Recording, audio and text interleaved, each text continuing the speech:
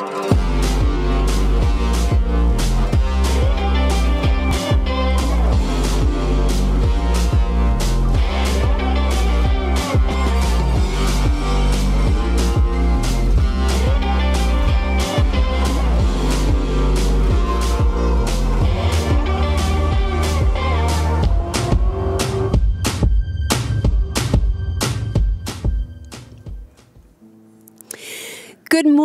everyone. Welcome to worship at Cuyahoga Valley Church. I'm so very glad that you are here today.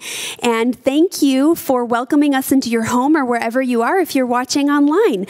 My name is Raquel Shores, and I work with CVC Kids. I am the director of Blast, which is a ministry to the families here. And if you are new or newer to our service today, would you please take a moment right now and let us know you're with us? And you can do that by texting the key word hello hello to 440 276 5575.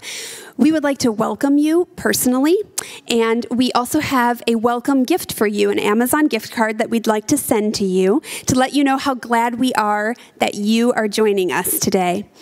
Now, for those of you that are newer here and you are in the room today, please stop by our guest reception table in the foyer after the service. I will be there, and I would love the opportunity to meet you in person. For anyone, if you would like to submit a prayer request, you can text the keyword pray to that very same number, 440 276 5575.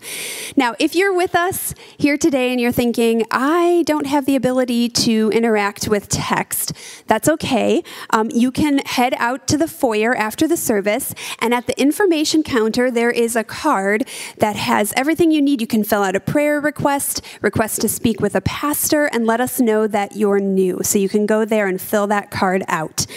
Now, for those of you who would prefer to pray with a pastor personally in a safe environment, you may visit the umbrella table outside to your right after the service is over. If it's raining, there will be a pastor in room 103 instead. CVC is continuing to ask that you register on a weekly basis for the indoor services. So, registration is open right now and available for next Sunday's service, August 9th. And you can do that at our website at cvconline.org. Registration used to close at noon on Saturdays, but now it will go until 9 p.m. on Saturdays, so you can register up until that point. We will continue to offer our, our services online at 9:30 a.m. and at 11 o'clock a.m. And don't forget Church on the Lawn, which takes place, weather permitting, on Sundays through August at 6:30 p.m. Now today, weather is not permitting, so we'll be offering our 6:30 p.m. service indoors tonight, and you can join in on that by filling out our registration form, which is available now on the website at cvconline.org slash regathering. Finally, our desire is that CVC would be a house of prayer. So we offer currently four opportunities weekly for corporate prayer where we can meet together and pray all are welcome to join in on this important opportunity. So the times are Sunday at 8 a.m., 9:30, and 11, and also on Wednesday at 7 o'clock p.m.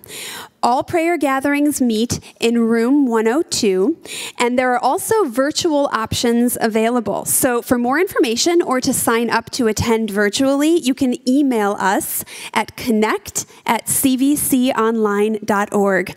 And now it is time to worship together, so please do stand if you're able. Well, good morning. It's great to, to see you all, to be uh, together. For those of you who are in the room here in person and those of you who are joining us online, we're, we're privileged and uh, joyful to be able to worship together today. Uh, I want to share with you from 2 Corinthians chapter 5. Beginning in verse 14, it says, The love of Christ controls us, because we have concluded this, that Christ has died for all. Therefore, all have died, and he died for all that those who live might no longer live for themselves but for him who for their sake died and was raised. And then going on to verse 17, therefore, if anyone is in Christ, he is a new creation. The old has passed away. Behold, the new has come. Brothers and sisters, we serve a God who is in the business of taking what was dead uh, and bringing it to life, bringing things out of darkness into the light, transforming these hearts of stone into hearts that are filled with new life. So let's rejoice together in this God who is making things new.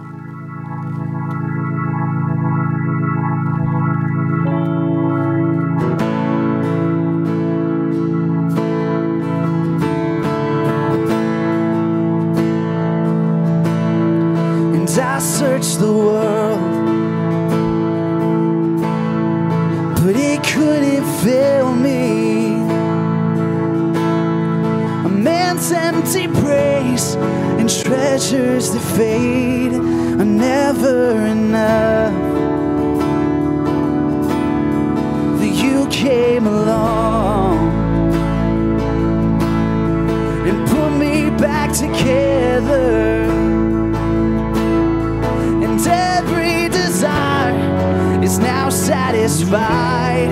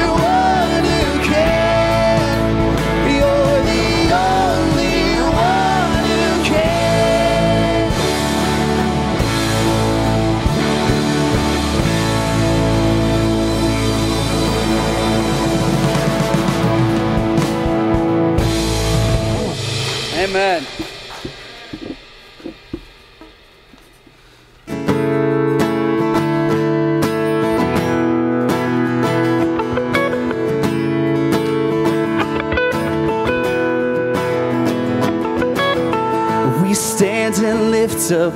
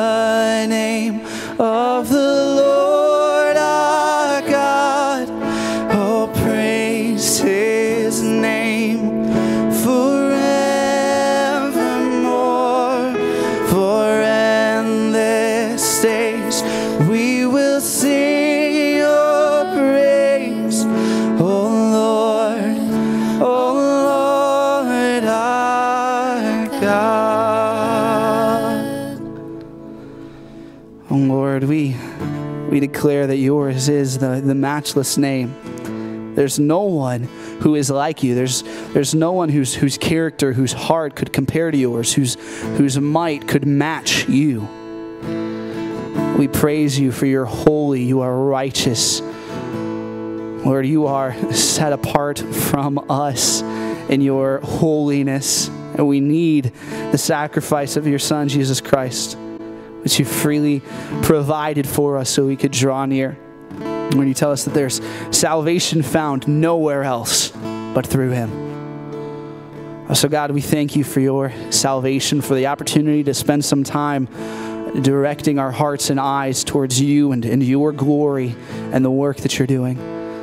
Lord, would you bless us this morning? Bless our time together. Would your spirit work mightily through Pastor Chad as he preaches from your word? It's in your name we pray. Amen. You can grab a seat.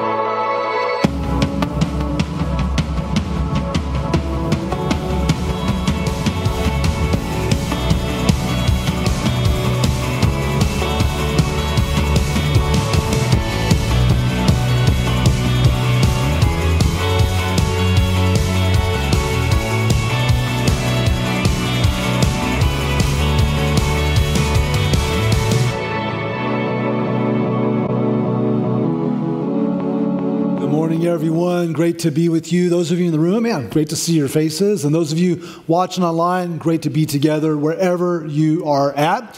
Hey, I'd like to start our time by sharing a small piece of a story of a young woman who comes to church here. And growing up, she did not really go to church. Uh, they popped in at Christmas and Easter, like a lot of people do. And uh, she does remember going to confirmation a little bit as a young girl. But really, as she looks over three generations of her family, she can't identify anyone else that she's aware of that made a profession of their faith. And so one day, uh, a student here at our church invited her to CVC Youth, and she started coming. And eventually, she gave her life to Christ, which was awesome. And then um, she was hoping that her new faith would be warmly received, or at least understood on some level, by her family. But instead, what started happening was tension started to develop between her family members. Because now the, the beliefs and the actions and the choices and the morals of the girl that they used to know were no longer aligned with who they knew. And so instantly there started to become more tension in her home. Her mother just can't relate to her faith. And she feels like Jesus took her little girl. Uh, her father is a very um, strong agnostic and he just believes pretty much any faith in a God is pretty foolish.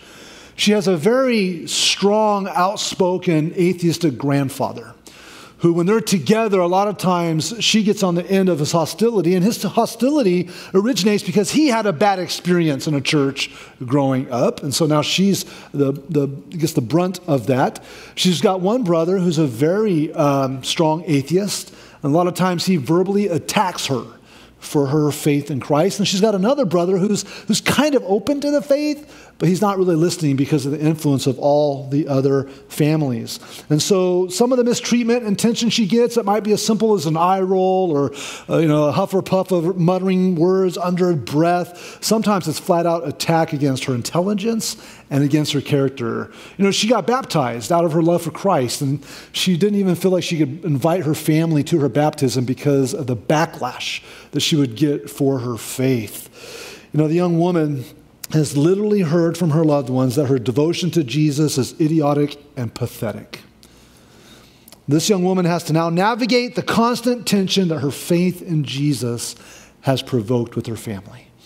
And my suspicion is, as I read some of her story, some of you can relate to it. Some of you have had similar experiences, maybe with some of your loved ones in your family. Well, here's why. Here's why she's experiencing this treatment. Here's why I've experienced this with some of my family and friends. And here's why some of you have experienced it with some of your family and friends. Here's the reason because believing in Jesus guarantees you peace with God, but it does not guarantee you peace with other people. It'll guarantee you a peace with God, right? But it doesn't guarantee you peace with other people. In fact, we're going to open up our Bibles here in a second to the book of Luke, chapter 12. And we're going to look at a passage where Jesus basically says that if we choose to follow him, it will cause division with our own family members. So, what do we do? Like, we know this is a concept, but I just want to tell us what do we need to do in light of that? Here's what we need to do we need to stand on our peace with God even when we don't have peace with people. And by the way, when I say people, I'm uh, specifically speaking to unbelievers. The division that's caused between those who have made a profession of faith and will follow Christ and those who haven't. And so we can stand on our peace with God when we don't have peace with people. So, with that, I invite you to open up your Bibles to the book of Luke, chapter 12. So, if you're home, get open your Bibles or fire up your Bible apps right here in the room, same thing. And we're going to be in the book of Luke, chapter 12, starting with verse 49. And we're just going through verse 53 because what we're going to look at is hard to digest. And we're just going to take it in with those verses and not, you know, keep teaching too much more after that. And so if you're new to the Christian faith or you're seeking or checking it out, uh, the book of Luke is one of four books in the Bible referred to as the Gospels. And there are four accounts that record the life and the ministry and the teachings of Jesus. And so we're going to look at this teaching of Jesus, which is very tough, but we're not going to put a filter over it. We're not going to try to dilute it. We're going to have to stare it in the face and say, what did he mean when he said this? So here we go Luke chapter 12, starting with verse 49. And these are the words of Jesus. He said, I came to cast fire on the earth and would that it were already kindled. I have a baptism to be baptized with, and how great is my distress until it is accomplished. Do you think that I've come to give peace on earth? No, I tell you, but rather, what's the word? Division. For from now on, in one house, there will be five divided three against two, two against three. They will be divided father against son, son against father, mother against daughter, and daughter against mother, mother in law against her daughter in law, and her daughter in law against her mother in law. And let's pray. Lord, we look at your word. We know it's perfect. We know it's holy. We know it's indestructible. And God, there's times in your word that we feel comforted and we feel a great peace. There's other times we're confused or we are curious. And Lord, this is a very vexing passage. And so, Jesus, help us to know a little bit more about what you said and why you said it and how we can walk on this earth in light of it until we see you face to face and get a full understanding. So, Lord, open up our minds, open up our hearts. I pray for those who don't know you that today you would even use this kind of a passage to give them a greater understanding of your righteousness, your holiness, and your invitation to have a new life in Christ. So even use this passage to woo them and romance them to your heart, a heart that loves uh, your children fiercely. In Jesus' name. Well said? Amen. I want to focus on three key words in this text. And I think understanding these three key words will give us a better um, ability to stand on our peace with God when we don't have peace with people, unbelievers specifically. And the first word is we have to understand this word fire. This is an important word. He says, I've come to bring fire. You're like, well, is Jesus a pyromaniac? Like, what is he saying, all right? Okay. Verse 4 says, I've came to cast fire on the earth and would that it were already kindled. So the fire here can really be looked at in two ways. The first is seen as a reference to the judgment of God. When you study the Bible, when you look at the Bible, a lot of times the concept of fire is used in light of God's judgment in some way, shape, or form. Uh, we know that you know fire is a reference to hell. We see fire as a reference to judgment many times in the scriptures. In fact, in 2 Peter chapter 3, verse 7, God speaks to the apostle Peter. He refers to the heavens and the earth that now exist are stored up for fire being kept until the day of judgment and destruction of the ungodly. And so, on one hand, here, fire refers to the judgment that's coming on mankind. And that Jesus' ministry of his preaching and teaching was going to result in those who would accept him and those who would reject him. And those who reject him eventually are going to be consumed eternally for this fire because of their rejection. And him desiring that it would be kindled was his desire that the justice and judgment would come and be fulfilled. But on the other hand, fire can mean something else. When we look at this man named John the Baptist, John the Baptist was a man who came and was preparing people for the entrance of Jesus into his ministry, his teaching and preaching. And John the Baptist referred to the ministry of Jesus this way He said, I baptize you with water for repentance, but he who is coming after me is mightier than I, whose sandals I'm not worthy to carry. He will baptize you with the Holy Spirit and what? Fire. So, another way to understand the fire that Jesus is longing for and wanting to be kindled is it's the fire of the Holy Spirit. That's what we see. And so when we study the, the book of Acts, for example, when, on the day of Pentecost, when the Holy Spirit fell on the early church, it says that the room was full of a sound like the rushing of wind, and then something that looked like tongues of what? Fire came and rested upon the disciples, and then they went out and boldly proclaimed the gospel. So, another way to understand the fire is that Jesus came to set that fire of the Holy Spirit on the early church so that they would be inflamed and go to do the will and the work of God. No wonder he longed for that fire to get lit, right? But here's, here's the reality for us as believers we can understand that either way, whatever he's saying, it's good for the believers. Because when we look at this passage, it can help us stand on our peace with God, even when we don't have peace with people, because first, we've been rescued from the coming fire. And so when we hear this fire, we're like, whoo, man, I can stand on the peace of God because that fire is not going to hurt me. And so we rejoice with that. And, and then, second, now we have this indwelling presence of God, the Holy Spirit that's sealed us with the pledge. We're His, we're God's child. Uh, we've been moved from being a child of wrath to a child of God. And now this fire of God burns in us and uses us. And so, either way, the believer comes out on top, which helps us stand in peace in our relationship with God, even though, man, we experience some really difficult situations with people, even people we love. So, what can a person do for us in comparison? Like, what person can shield you from the judgment of God? What person can prevent you from the coming wrath and judgment? No one. What person can fill you with the knowledge of God and fill you with the Holy Spirit? No one. And so at the end of the day, we're going to choose Jesus. We're going to choose Jesus. So at least I can rest in the peace of knowing that I'm in good hands now and for eternity. And that can help me stand in my presence and peace with the Lord now, even though it may cost me some peace with some people I love dearly. And so understanding the word fire can help us stand in our peace with God when we don't have peace with people. The second key word is this word baptism. Baptism is very important in our faith. When we get baptized, it's our way of saying we love Jesus, we're committed to Jesus, and that we follow Jesus. If you have professed faith as a, a believer in Christ, uh, you get baptized. That's out of obedience, that's out of love. But Jesus is talking about a baptism that he still has to undergo. And some of you are thinking, wait, didn't he get baptized by John the Baptist back to kick off his ministry? Yeah. So what's he talking about? This baptism that Jesus is referring to in verse 50 when he says, I have a baptism to be baptized with, and how great is my distress until it's accomplished, is a reference to his suffering and his crucifixion. It's going to be an immersion in suffering as he dies on the cross for the sins of humanity. This is the baptism that he has looking forward to. No wonder it's causing him distress. But don't you, but just a kind of side note, don't you love the fact that even Jesus, who's God and man, was feeling distressed? Like sometimes we kind of get this like rainbow puking unicorn view of Christianity that we're never supposed to feel any fear and anxiety ever.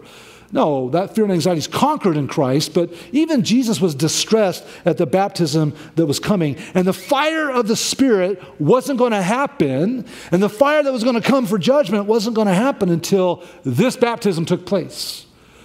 So Jesus knew that he was committed to fulfill his divine mission to go to the cross for our benefit. He knew that it was going to be necessary for him to suffer and to die on the cross so that we could be made right with God that we could be in relationship with God and be forgiven of our sin. Um, I think it's very important when, when we think about the cross, this symbol that a lot of us wear or have places in our home. You've got to remember that the cross is not a tragedy. The cross means victory. Right? And so Jesus knew that this baptism was going to be a victory that was coming. And knowing knowing that my right relationship with God, knowing that my forgiveness of sins, knowing that, that whatever um, sin has broken in my life, God can actually restore through His power. Uh, when you realize that, it's humbling and it's awesome and it draws us into a worshipful, intimate relationship with the living God. And this understanding that Jesus was going to experience anguish and suffering on the cross on our benefit helps me stand in my peace with God when I don't have peace with people because the suffering that Jesus did for us has rescued us from the suffering that we were destined for. Like, this is a misunderstanding we always have to hit. The Bible doesn't teach that we're all good and we're all going to heaven. Quite the contrary. The Bible says we're all bad. We're sinners. We are destined to hell. Like, if, if there's a freeway, everybody's on it and it's going to hell because we're rebellious. We don't want God in our life. And then God says, I have provided an off ramp for you. And the off ramp is the cross where my son died, so you don't have to go. And so the mindset of like, well, God's so mean, he provided an off ramp, right? But there's division between those who stay on the highway and those who choose to go off the ramp. But just the realization that Jesus suffered so that I wouldn't have to suffer puts me at peace with him. But it's going to cost me peace with others when I believe that. So, how that helps me is that in comparison to whatever suffering I experience here on earth, whether um, actions or words from others, pales in comparison to the suffering I was going to experience in eternity. And so when we know, like we know, like one day when this life is over, we're going home. We're going home with the Lord. And we're not going to be in a place of suffering. Like just the understanding of that helps it helps me to suffer better here because he suffered for me. And so our family members are awesome and we love them and we don't want them um, to undergo that baptism of suffering, but they did not undergo a baptism of suffering on our benefit. They did not die on the cross for our sins, Jesus did. So if I'm going to be put in a position to either choose to be at peace with my family, but at odds with God, or at peace with God, knowing it might cost me to be at odds with my family, that's a no brainer when I bowed my head and my heart to Jesus as my Lord and Savior. And it's not that I want division, it's not that I want to have uh, you know, conflict between us. I just know there's going to be. But because He suffered for me, it's a cost we're willing to pay because of what Jesus did. So, as hard as it is, as sad as it is that my family and friends don't know Christ yet, at least I can rest in the peace of knowing that Jesus suffered so I don't have to. And it just makes any earthly suffering that I experience pale in comparison. And just a note on that baptism if you haven't got baptized and you're a follower of Christ, like it's just time. Like giddy up, let's go. All right. Um, whatever excuses, whatever reasons, whatever delays have blocked you, just don't do it. We're going to be doing some baptisms this month, and we're going to be um, getting ready to do more baptisms. So if you have a relationship with Christ and you haven't been baptized yet, just go online, cvconline.org slash baptism, sign up, let's get you baptized so you can express your love and commitment to the Lord. And so, understanding this word fire, understanding this word baptism kind of helps us live our peace out with God, even though we know it might not um, lead us to have peace with people who don't believe. The third word is the word division. We've got to look at this word division because it's where the tension lies. It's the trigger word of this moment. Verse 51, Jesus said, Do you think that I've come to give peace on earth? No, I tell you, but rather division. But doesn't this seem like a contradiction? Because some of us are Bible students, and here's what we're thinking wait a minute. In Isaiah, it talks about the Messiah, the one who's coming one day, he's going to be the Prince of Peace. And then, and then Luke, who wrote the Gospel of Luke, opens up with the Christmas story. And in the Christmas story, it talks about when, when, when the birth of Christ happened, the angels were rejoicing and said, Peace on earth to all men. Uh, you look in Ephesians chapter 6 and it talks about the armor of God and talks about the gospel of peace. So is this a contradiction? No, because you have to understand there are different ways to understand peace.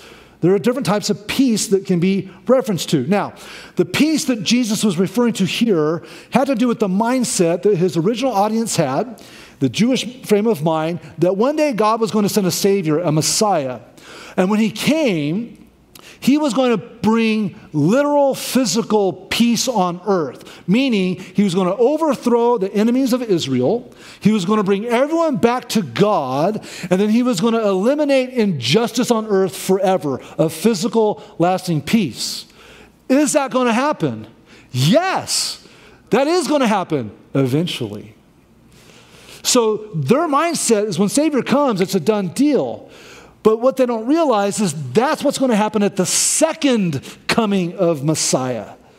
The one who came, lived, died, rose, ascended, left is coming back. And when he comes back, that is the peace he's going to usher in a physical peace where God's with man, judgment, no more injustice, no more pain, and there'll be a, a, physical, literal, eternal peace that we're going to experience. But the first coming of Messiah, the first coming of the Savior, was to be a suffering servant who was going to atone for the sins of mankind. And the thing was, and you can kind of see these in the verses that follow, he had to do that first. So the people wanted the dessert without having the meal, right? He's like, look, the dessert's coming, but you got to still have the meal first. And, but they didn't want that, they didn't see it. And so that's why they rejected Jesus the Messiah, because he didn't bring that kind of peace that they were waiting for that eventually is going to come. And so when he says, Do you think I'll bring peace? He's thinking, No, no, no. I didn't come bring peace right now. No, it's, it's actually going to cause division. My coming, my teaching, my inviting you into relationship is actually going to bring division. But the peace you're looking for is going to be experienced by those down the road who come to know me as Savior. And so this is what he's getting to. Now, for those who have responded to faith in Christ, we do have peace. And there's different kinds, right? So we have peace with God. Let's make it very clear. The Bible teaches before you come to Christ, you are an enemy of God. You're at war. My way, no, my way. My way, no, my way. Does it sound like a two year old and a parent, right? Okay. And that's the kind of relationship we have. We're, we're, at enmity. And so when you give life to Christ, no more war. You have peace with God. Read that in Romans 5, right? We move from being a child of wrath to a child of God. And your identity now is a child of God. You've got peace with God. You also have peace inside you. The shalom that the Bible talks about, right? And so Jesus says, My peace I give to you, right? He says that in John chapter 14. I give you my peace. We know in Philippians it talks about the, in Christ we have a peace that passes understanding. And so even though there's chaos going around in the world, we don't freak out. Why? Because we have shalom. We've got the peace of God inside of us. We also know that we have peace with other believers. Our common faith unites us with believers all over the world. Men and women all over the globe are our brothers and sisters in Christ. And even though we have very different cultures and have diff- very different backgrounds and very different perspectives, we're one family. We're one giant blended family in the name of Christ, which is so beautiful. And even if you look at the inner circle of Jesus, and I'll probably talk about this in the near future, but like you even look at the inner circle, you've got all these ruffian fishermen, you've got, you know, a couple business guys, you've got Matthew, a tax collector, which is like the bottom of the barrel culturally, right? And you've got Simon the Zealot, whose answer is just stab everything that doesn't agree with you. Think about the tension between Simon the Zealot and Matthew the tax collector. Like, I'm wondering if Jesus had to stop Simon from chasing Matthew around the fire with his dagger, right? But he brought them to a place of peace. Even in his own inner circle, we have peace with other believers.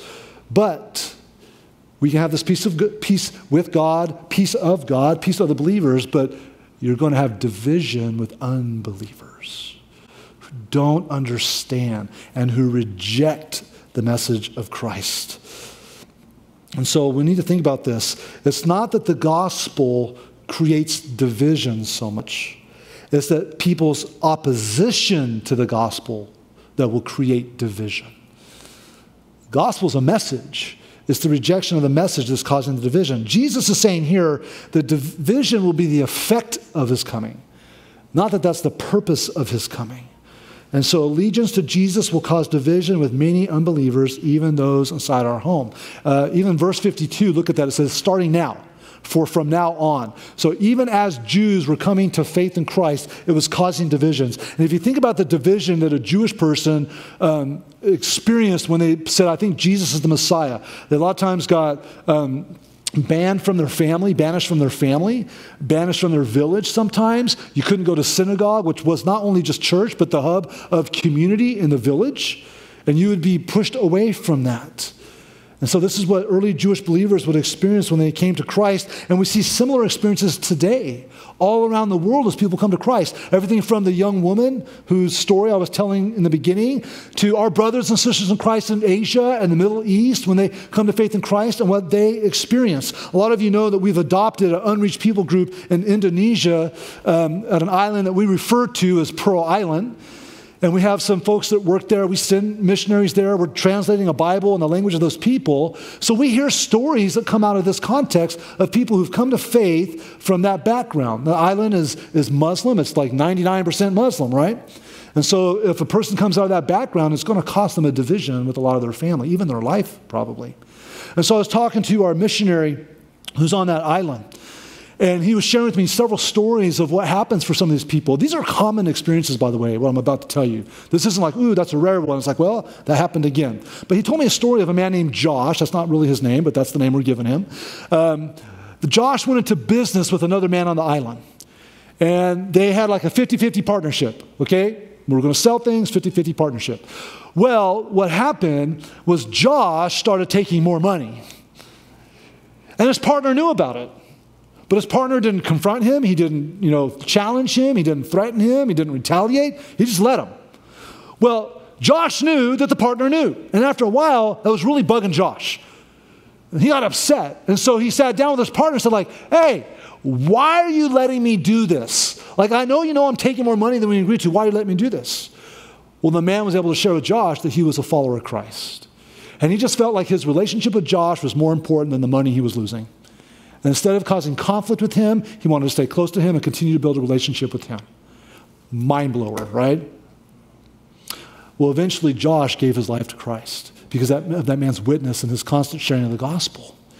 Well, as Josh became a believer, eventually his family found out. One day, Josh went home. And shortly after he came home, a truck pulled up to his village home. And out of that truck poured cousins and uncles and relatives. And they stormed into the home and they grabbed Josh. And they took him and put him in a chair in the room. They put a large knife on each side of his neck and they were going to kill him for his faith in Christ. Not exactly something we can relate to, right? By the grace of God, Josh's father came into the room and said, Look, if you're going to kill my son, you have to kill me first. And his father wasn't even a believer, but he loved his son. And so the relatives relented for the moment. Well, Josh knew his life was in danger, so he fled the island. He just had to leave. He left for a season. Eventually, he came back. He's able to peacefully go back to his village, and he's been sharing Christ with his father ever since. May God use Josh's testimony to win his father's love to the father. Right? That's, that's division, right? This is division that we're talking about, and this is a common experience. Even Jesus experienced division in his home over his own identity, remember?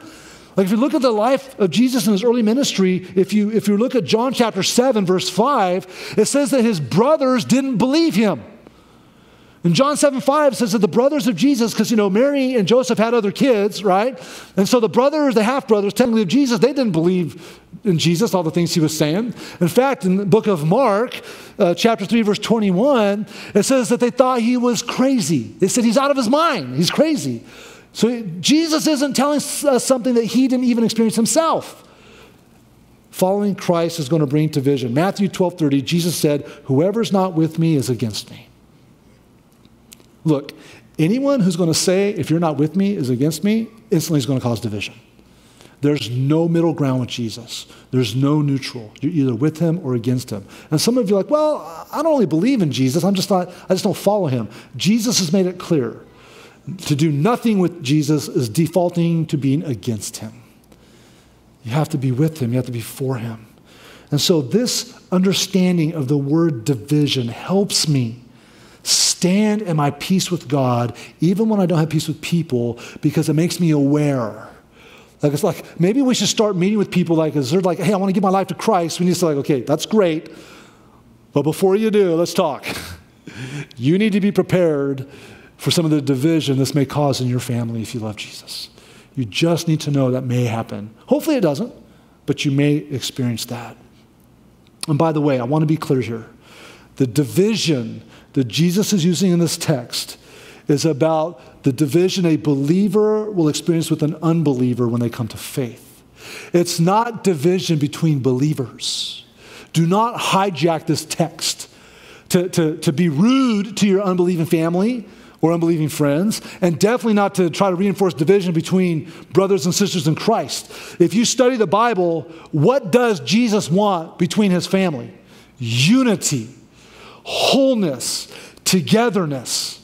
And so this is not a text that's speaking to like division over worship preferences or tradition or minor doctrinal issues or COVID theories or whatever it is. We need to do better at being unified. The world needs to see a unified, loving body of Christ that says, hey, we're different, but we love each other and we're united. And you know, honestly, we're not doing that too well right now.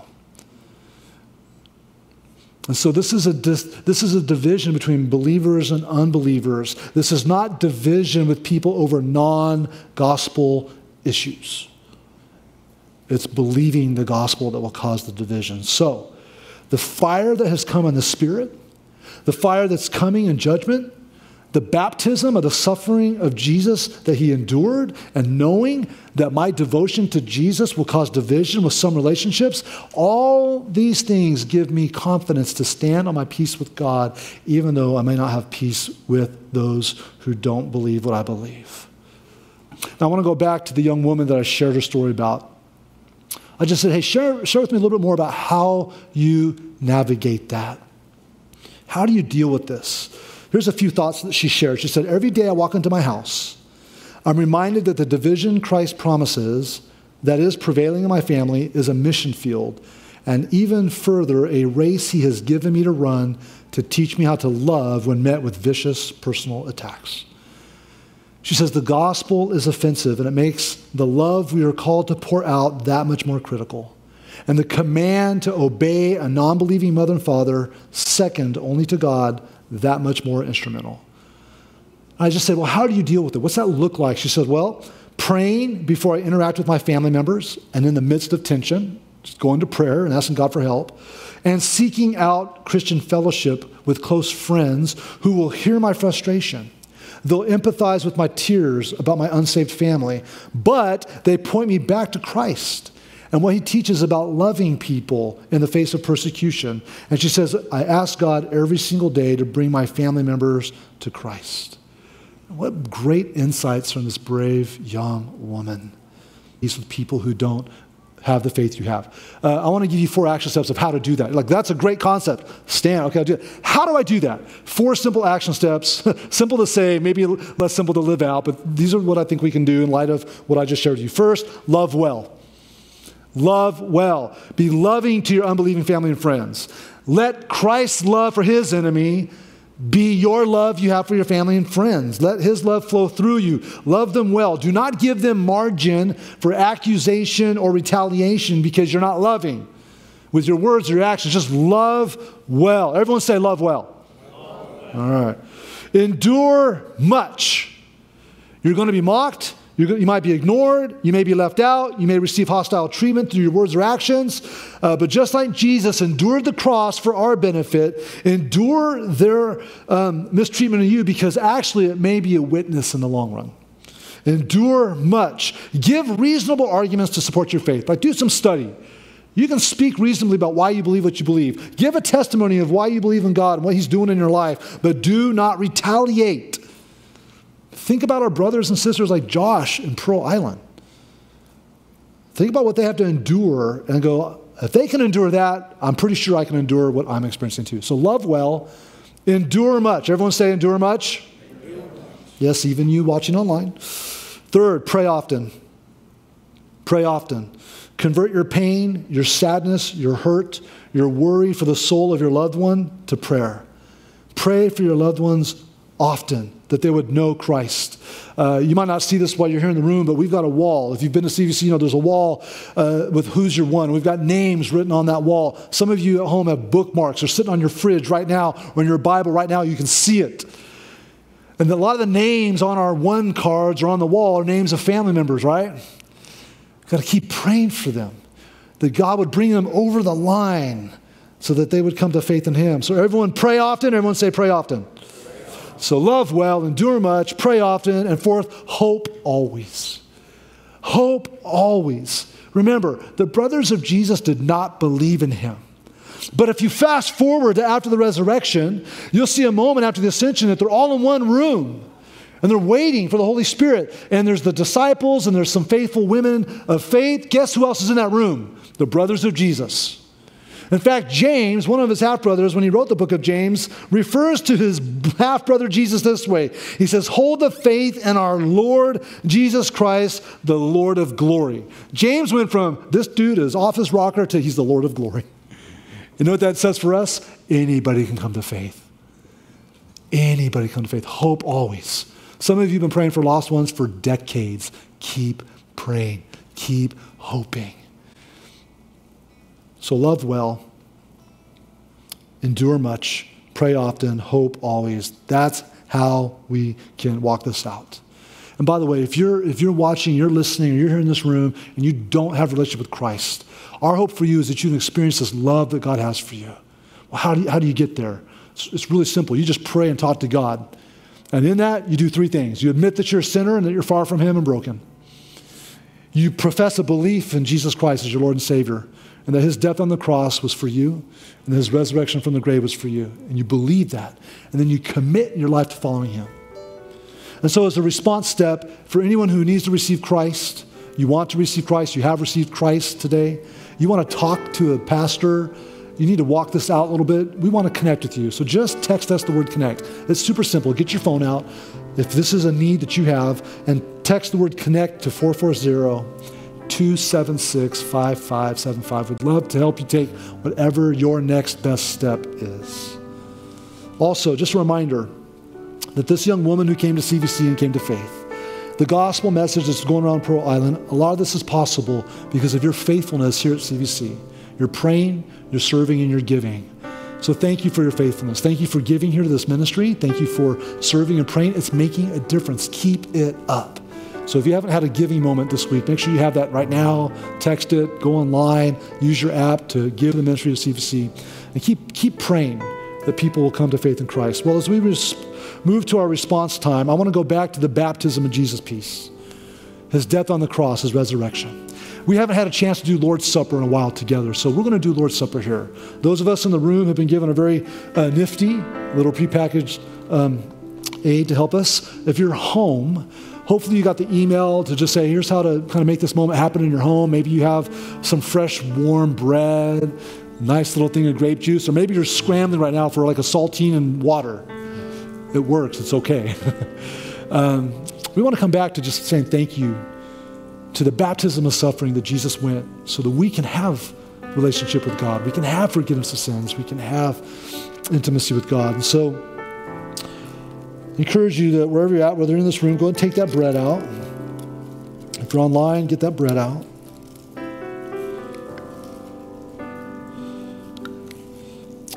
Just remember that uh, this wafer is a symbol that represents the body of Christ that was beaten and bruised and hung on a cross that we can have relationship with him. And so my brothers and sisters in Christ at home, wherever you're at, right here in the room, let's take and eat together the body of Christ.